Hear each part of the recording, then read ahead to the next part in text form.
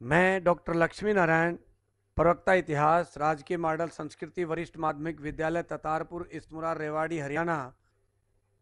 आज के अपने अध्याय का उप विषय है नवीन धार्मिक परंपराएँ।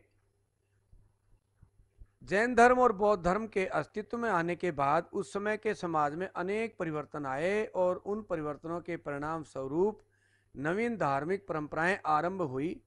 पौराणिक हिंदू धर्म में अनेक परंपराओं का आरंभ हुआ।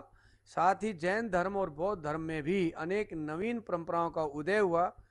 दोनों धर्म वैसे ही नहीं रहे जैसे उनके परिवर्तनों ने आरंभ किए थे। यानी कि हिंदू धर्म में भी परिवर्तन आया। बौद्ध धर्म और जैन धर्म को देखकर अपना अस्तित्व बचाने के लिए उन्होंने भी बहुत से परिवर्तन और सुधार किए। इस तरह से जैन और बौद्ध धर्म में भी बहुत से परिवर्तन आ गए। तो उनको देखते हैं। पहले देखते हैं, बौद्ध धर्म में आई नए परिवर्तन या परंपराएँ। बौद्ध धर्म विद्यार्थियों दो भागों में बट गया। एक था महायान और दूसरा हीनयान। बाद में एक बौद्धों में एक तीसरी शाखा भी पढ़ने को मिलती है, देखने को मिलती है, वज्रयान। वैसे ये वज्रयान शाखा मंगोलिया में अस्तित्व में रही बताते हैं। इस शाखा के लोग तांत्रिक विद्याओं में विश्वास करते थे। ये लोग नशा और मांस का सेवन भी करते थे। जो महात्मा बुद्ध के विचारों से बिल्कुल परे लगते हैं एक तरह से, परंतु मानी गई है ये बौद्ध धर्म की वज्रयान शाखा। परंतु यहाँ हम दो ही को पढ़ेंगे, महायान और हीनयान। हीनयान को थेरवाद भी कहा जाता था। यहाँ हम समझेंगे, अंतर करते हुए दोनों का अर्थ समझेंगे कि क्या हीनयान है और क्या महायान है। हीनयान जो धर्म था या संप्रदाय था, ये ये महात्मा बुद्ध के समय से ही चला रहा था, वैसा ही पौराणिक माना गया। जबकि महायान परिवर्तनवादी माने गए हैं एक तरह से। तो बारी बारी से इनको पढ़ते हैं। महायान को देखते हैं, फिर हीनयान को देखते हैं। बुद्ध और बौद्धि सत्यों की ईश्वर के रूप में पूजा होने लगी। महात्मा बुद्ध को भगवान मान लिया। और बौद्ध धर्म के जो आरंभिक प्रचारक थे बड़े बड़े संत थे, जिनको बौद्धि सत्य कहा जाता था इनको भी भगवान माना गया है, इनके ऊपर भी स्तूप बनाए गए हैं। परंतु हिनयान वाले क्या कहते हैं, यानी कि थेरवाद वालों का क्या मानना है? ये कहते हैं कि इसमें बुद्ध को ईश्वर नहीं माना गया। वो केवल एक महान पुरुष थे और लोगों को रास्ता दिखाने आए थे, पथ प्रदर्शक गुरु थे। महान पुरुष थे, भगवान नहीं थे। महायान वाले महात्मा बुद्ध की मूर्तियाँ बनाकर पूजने लगे। ये लोग ऐसा नहीं करते थे, ये बुद्ध को उजला हाथी, स्तूप, चैत वृक्ष के रूप में पूजते थे। अभी पीछे लेक्चर में, पिछले में मैंने बताया था और दिखाया भी था कि किस तरह स्तूप, चैत और वृक्ष की पूजा वो करते थे। परंतु मूर्ति पूजा नहीं करते थे ये हीनयान वाले। मायान विचारधारा के लोग बुद्ध को मुक्तिदाता मानने लगे भाई बुद्ध की पूजा करेंगे, उसकी मूर्ति की पूजा करेंगे तो हमारी मुक्ति हो जाएगी। परंतु थेरवाद के या हीनयान के विचारधारा के लोग क्या कहते हैं कि मुक्ति तो व्यक्तिगत प्रयासों से ही मिलेगी। अपने व्यक्तिगत प्रयास करने होंगे हमें। उसके लिए तपस्या और अपने चरित्र को ठीक करना होगा। मायान शाखा में बोधिसत्व ऐसे करुणामय जीव को कहा गया, जो हमने ऊपर पढ़ा कि जो बौद्ध धर्म के प्रचारक थे, उनको बोधि सत्य कहा जाता था। उनके बारे में लोगों की क्या धारणा थी वो पढ़ते हैं। ये ऐसे करुणामय जीव को कहा गया जो अपने सत्य कर्मों से पुण्य कमाते थे, यानी कि अच्छे काम करके खूब पुण्य कमाते थे और उस पुण्य का प्रयोग भी अपने लिए, अपनी भलाई के लिए, अपने मोक्ष के लिए ना करके दूसरे के दुखों को दूर करने में लगाते थे। ये महान यान शाखा का मानना था। उन्होंने बोधिसत्वों को भगवान के समान माना। ये क्या कहते हैं हीनयान वाले? इसमें बोधिसत्व धर्म प्रचारक के रूप में ही महत्व था। ये महात्मा बुद्ध के आरंभिक विचारों का ही प्रचार करते थे। ना ये अपने को भगवान कहते थे, ना मानते थे। इन्होंने ना ही स्वयं को और ना ही बुद्ध को भगवान माना। अब विद्यार्थियों, देखते हैं जैन धर्म की शाखाएँ। जैन धर्म में समय के साथ अनेक शाखाएँ अस्तित्व में आई, परंतु 300 ईस्वी पूर्व के आसपास इसमें दो शाखाएँ बन गई थी। एक है दिगंबर और दूसरी श्वेतांबर। दोनों आज भी अस्तित्व में हैं। दिगंबर इस संप्रदाय के भिक्षु वस्त्र नहीं पहनते थे। ये हर मौसम में नगन रहते थे और कठोर तपस्या करके शरीर को तपाते थे। परंतु आज भी इनमें यही परंपरा है। आज भी ये नगन ही रहते हैं और अपने शरीर को तपाते हैं।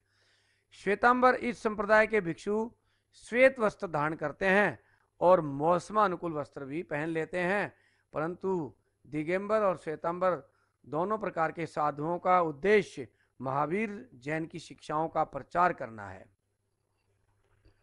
आओ विद्यार्थी अब पौराणिक हिंदू धर्म के बारे में पढ़ते हैं और उसमें क्या क्या परिवर्तन हुए? जैन धर्म और बौद्ध धर्म के परिणाम स्वरूप हिंदू धर्म में भी, वैदिक धर्म में भी बहुत से परिवर्तन आए। बौद्ध धर्म में जैन धर्म के उदय के बाद हिंदू धर्म में अनेक परंपराओं का जन्म हुआ। महायान शाखा में जिस तरह से महात्मा बुद्ध को ईश्वर माना गया, मुक्तिदाता माना गया, उसी प्रकार हिंदू धर्म में वैष्णव व शैव परंपरा उभर कर सामने आई। इसमें एक विशेष देवता की पूजा को खास महत्व दिया जाता था। इस प्रकार की आराधना में उपासना और ईश्वर के बीच, उपासक और ईश्वर के बीच का रिश्ता प्रेम और समर्पण का बन जाता था। इसे भक्ति कहते हैं। तो आओ पहले पढ़ते हैं वैष्णववाद के बारे में। इस परंपरा में भगवान विष्णु और उनके दस अवतारों की पूजा की गई है। यानी कि भगवान विष्णु ने के दस अवतार हैं। इस संप्रदाय के दो मुख्य तत्व हैं भक्ति और अहिंसा। देवता के प्रति प्रेम और समर्पण भाव को भक्ति कहा गया। अहिंसा किसी जीव को मारना नहीं, ये सिद्धांत अहिंसा का है। लोगों ने जीव हत्या बंद कर दी और शाकाहार को अपनाने लगे। इस संप्रदाय को शूद्रों सहित सभी वर्णों ने अपनाया। राजा महाराजाओं और बाहर से आए अनेक विदेशियों ने भी इस संप्रदाय को अपनाया। इस संप्रदाय में दस अवतार थे, इनको देखते हैं।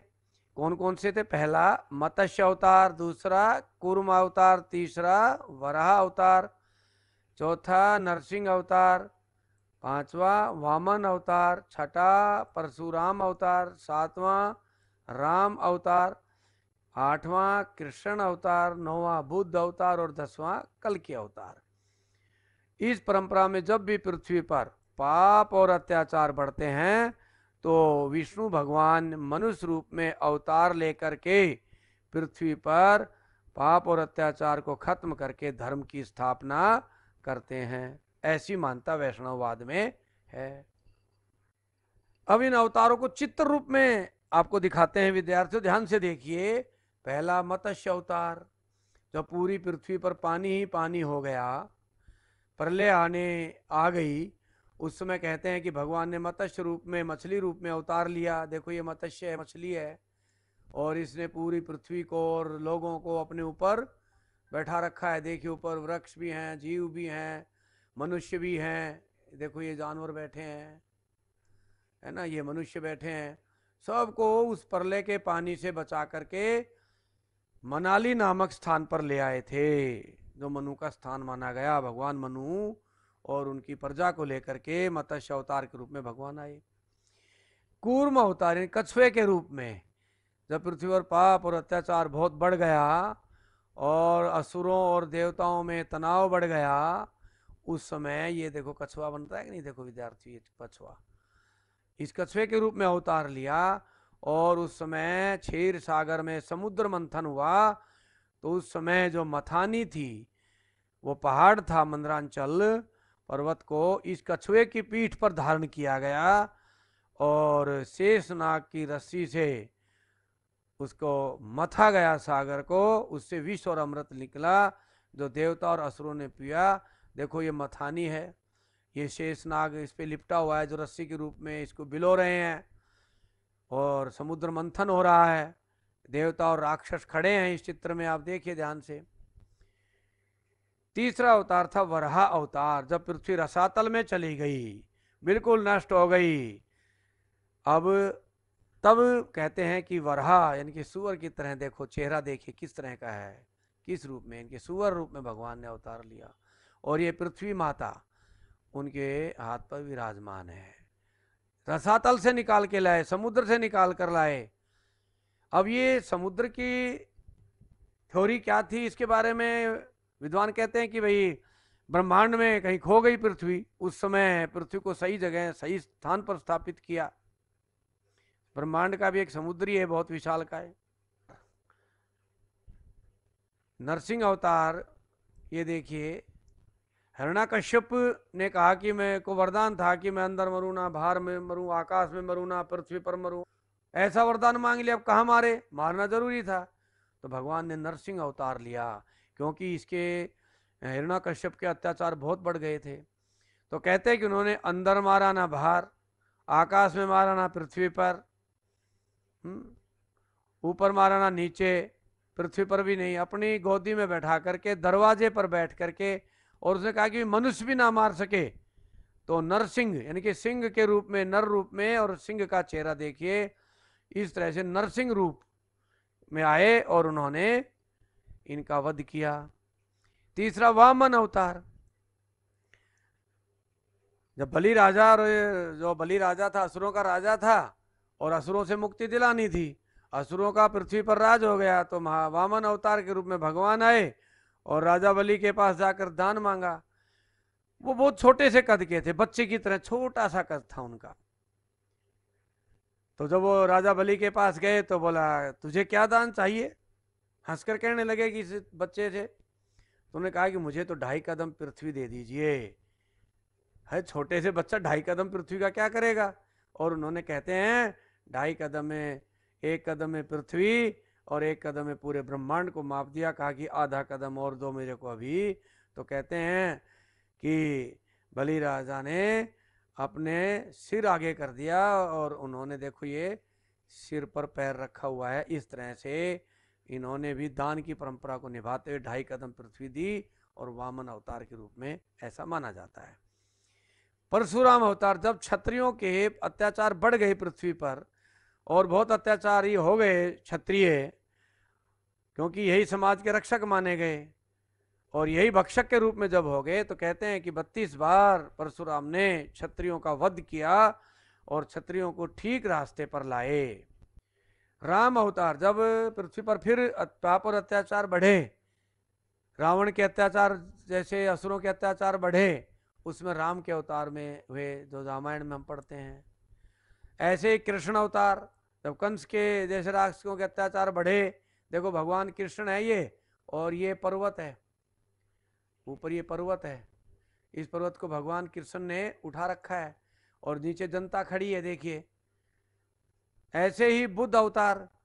अभी पढ़ा है महात्मा बुद्ध के बारे में। बुद्ध को भी अवतार माना गया जब जनता में अत्याचार बढ़ गए, एक दूसरे वर्णों में घृणा फैल गई, तब उस घृणा को दूर करने के लिए, समाज में एक रूपता स्थापित करने के लिए, प्रेम से रहने के लिए बुद्ध ने अवतार लिया। और दसवां अवतार कल के अवतार, जो अभी अवतरित नहीं हुआ है, ऐसा माना जाता है, जब कलयुग में पाप और अत्याचार बहुत बढ़ जाएँगे कहते हैं कि मनुष्य मनुष्य का भक्षक हो जाएगा। उस समय कल की भगवान अवतार लेंगे जो एक शुद्र के घर में पैदा होंगे। तब ये इस तरह का रूप ऐसा कल्पना की गई है कल की भगवान की। और ये ब्रह्मा जी हैं। इन्हीं के दस अवतार हमने अभी पढ़े। भगवान विष्णु जो क्षीर सागर में, ब्रह्मा जी नहीं, विष्णु भगवान है, जो क्षीर सागर में शेष नाग की सैया पर लेटे हुए हैं, लक्ष्मी पैर दबा रही है, वे ब्रह्मा जी नाभि से ऊपर कमल पर विराजमान हैं। अब शैव मत को पढ़ते हैं। भगवान शिव के धर्मानुयायियों और भक्तों को शैव कहा जाता है। जो शिव की पूजा करते हैं, वो शैव शिव की पूजा किस रूप में करते हैं? पूजा लिंग और योनि के रूप में भी करते हैं और मनुष्य रूप में भी शिव जी को हम पूजते हैं। जहाँ विष्णु को सृष्टि का पालनहार माना जाता है, वहीं शिव को सृष्टि का कर्ता और संहारक के रूप में स्वीकार किया गया है। कुषाणों और गुप्त काल में शैव धर्म में आस्था के व्यापक प्रमाण मिले हैं। दक्षिण में शिव भक्तों को नैनार कहा जाता है। प्यारे विद्यार्थियों, दक्षिण भारत में शिव भक्तों क्या बोला जाता है? नैनार। और विष्णु भक्तों को अलवार। ये आगे एक अध्याय में हम पढ़ेंगे भी। तो शिव भगत नैनार और विष्णु भगत अलवार कहलाते हैं। देखो ये भगवान शिव की मूर्ति, ऐसे भी पूजते हैं भगवान शिव को हम। ये लिंग और योनि के रूप में भी हम शिव को पूजते हैं, जल चढ़ाते हैं। पौराणिक कथाओं का अंकन। इन मूर्तियों में पौराणिक कथाएँ बताई गई है। हिंदू धर्म की मूर्तियों का मुख्य स्रोत पुराणों में वर्णित किस्से कहानियाँ हैं। इसलिए इन मूर्तियों के अध्ययन के लिए किस्से कहानियों को जानना ज़रूरी है। जैसे हमने दस अवतार देखे अब उन मूर्ति को देखने पर कैसे समझेंगे कि ये मूर्ति क्या कहना चाहती है? यदि हमने वो कहानियाँ पढ़ रखी है, वो किसे पढ़ रखे हैं तो ही हम मूर्ति को समझ सकते हैं। इन कथाओं की विशेषताएँ क्या है? कई शताब्दियों पहले रची गई कहानियों में देवी देवताओं की कहानियाँ मिलती हैं। पुराने, पुराणों की कहानियाँ लोक कथाएँ बन गई क्योंकि शूद्रों को भी पुराणों को सुनने का अधिकार था। गाँव गाँव में ब्राह्मण इन्हें ऊँची आवाज़ में सुनाया करते थे। अब पुराण तो कोई पढ़ तो सकता नहीं था। अनपढ़ लोग थे। फिर भी शूद्रों को पुराणों का अध्ययन करने का या सुनने का अधिकार था। किससे कहानियों का प्रचार, प्रसार, पुजारी, व्यापारी, साधु संतों के द्वारा भी एक स्थान से दूसरे स्थान पर पहुँचा दिया जाता था। एक उदाहरण देखते हम। वासुदेव कृष्ण थे। वो मथुरा के देवता थे आरंभ में। मथुरा और द्वारका तक उनके किस्से थे प्रचलित। धीरे धीरे सारे भारत में पूजनीय हो गए आज। आज हमें पूरे भारत में भगवान कृष्ण के मंदिर मिलते हैं। मंदिर निर्माण स्थापत्य। स्थापत्य क्या होता है विद्यार्थियों? स्थापत्य होता है रचना करना, महलों की, मूर्तियों की, ये सब स्थापत्य कला आती है। हिंदुओं के आराधना स्थल मंदिरों के रूप में विकसित हुए। आराध्य देवी देवताओं की मूर्तियाँ मंदिरों में स्थापित की गई। इतिहासकार मंदिरों का निर्माण काल उसी काल से मानते हैं, जिस समय से सांची और सारनाथ के स्तूप बने। कहते हैं, तब से मंदिर बनने शुरू हुए। शुरुआती मंदिरों के स्थापत्य की विशेषताएँ इस प्रकार थी। मंदिरों का प्रारंभ कैसे होता है? पहले गर्भगृह होता है। गर्भगृह क्या होता है? आगे मैं एक चित्र में दिखाऊँगा आपको। गर्भगृह एक चौकोर कमरा होता था। इसमें मूर्ति होती थी अंदर, इसमें एक दरवाज़ा होता था जिसमें उपासक अंदर जाता था। यानी कि एक चार दीवारी करके उसमें अंदर मूर्ति की जो स्थापना होती थी, वो मूर्ति का जहाँ रखी जाती थी मूर्ति, वो गर्भगृह कहलाता था और उसमें एक दरवाज़ा होता था, पुजारी उससे अंदर जाता था। धीरे धीरे गर्भगृह के ऊपर ऊँचा ढांचा बनाया जाने लगा, जिसे शिखर कहा गया। फिर मंदिर के चारों ओर एक विशाल प्रांगण बनाया जाने लगा और उसमें भी अनेक देवी देवताओं की मूर्तियाँ प्रांगण में लगने लगी। आज भी देखते हो आप मंदिर के प्रांगण में हम घुसते हैं तो अनेक देवी देवताओं की मूर्तियाँ होती हैं। गुप्त काल में मंदिर भव और शिलाखंडों से बनाए जाने लगे। इनमें ऊँची ऊँची दीवारें, बहुत ऊँचे तोरण द्वार, जिन्हें गोपुरम भी कहते थे, विशाल सभा स्थल बनाए जाने लगे। यानी कि बड़े बड़े दरवाजे ऊँचे ऊँचे दिखाऊँगा आगे आपको, जिनको गोपुरम कहते थे। बड़े बड़े सभा स्थल जहाँ मीटिंग और धार्मिक आयोजन हो जाए, खूब घने लोगों का, और वहाँ पर पानी की भी व्यवस्था की जाने लगी। पूरी एक चट्टान को काट करके भी मंदिरों को और मूर्तियों का निर्माण होने लगा। आगे दिखाऊँगा मैं आपको ऐसे चित्र। बारबर की पहाड़ियाँ, कारले व नासिक के चैत्य, अजंता एलोरा की गुफाएँ, कैलाशनाथ मंदिर, उदयगिरी का विष्णु मंदिर, महाबलीपुरम के मंदिर, अनेक उदाहरण आज भी हमारे सामने साक्षात हैं, जो अभी मैं आपको दिखाऊँगा। अब विद्यार्थी आओ, भारतीय स्थापत्य को देखते हैं। ये देखो, ये शिखर कहलाता है, इसको विमान भी कहा गया है। ये गर्भगृह है मंदिर का। ये चार दीवारी, एक कमरा है, ये दरवाज़ा है, दरवाजे से पुजारी अंदर जाता है। साथ में ही मीनाक्षी मंदिर मदुरई का गोपुरम है। गोपुरम तोरण द्वारों को, मेन गेट को कहते थे। उन मंदिरों के चार चार तोरण द्वार मिलते हैं, इस तरह के ऊँचे। इनकी ऊंचाई इतनी होती है कि ये 20-25 किलोमीटर दूरी से भी नज़र आते हैं।